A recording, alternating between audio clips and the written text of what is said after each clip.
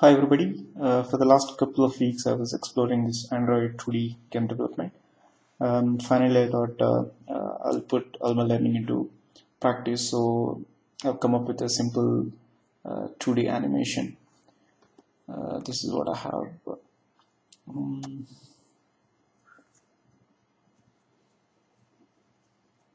okay, so we have a blank screen. When I touch the screen,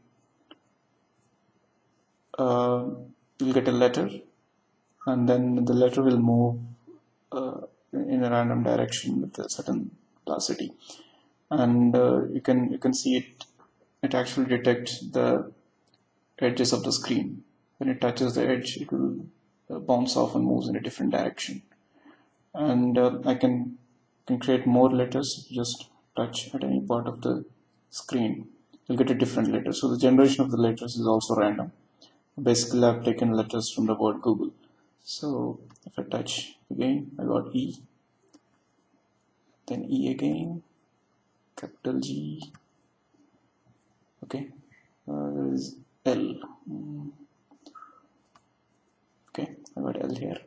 So and if you can, you can see uh, there is also collision detection between the letters not just the borders of the screen.